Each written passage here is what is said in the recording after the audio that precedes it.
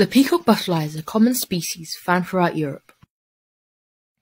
On the underside of the stinging nettle leaves, you will find the eggs of the peacock butterfly. They are laid in clumps of a couple hundred eggs. Peacock butterfly egg clusters make an easy meal for insects, so are therefore laid on the underside of the nettle leaf. Peacock butterflies lay their eggs mostly on stinging nettles, which grow abundantly throughout Europe and the UK. The caterpillars have now hatched out of their eggs and now proceed to feed on their eggshells, which are full of nutrients and protein. They begin covering the nettle plant with a silken web to give them grip and protection, and they prefer to stay in a group rather than being solo.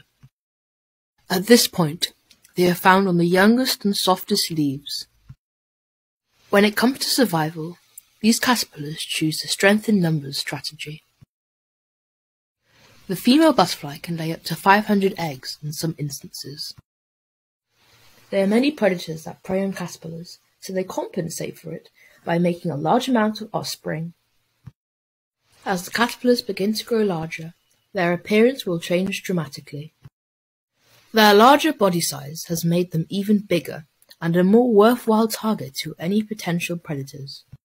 In response, the caterpillars are now armed with tiny spikes.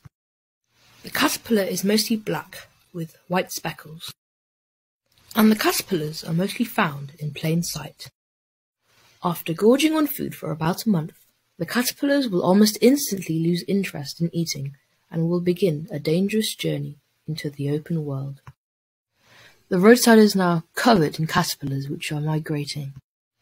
When the caterpillars are fully grown, they will find a safe place to pupate. Traffic will claim many lives, unfortunately.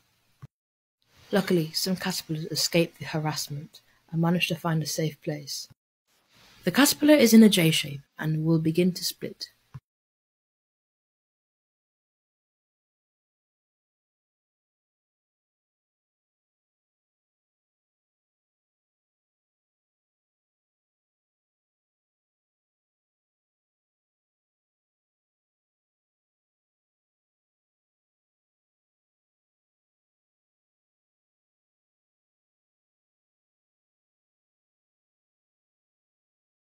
The chrysalis is now hardened and will take two weeks for the butterfly to emerge. Two weeks later, the chrysalis has darkened and the wings have become visible, meaning that the butterfly will soon emerge. The peacock butterfly has emerged and will take a few hours for the wings to fully stretch and dry.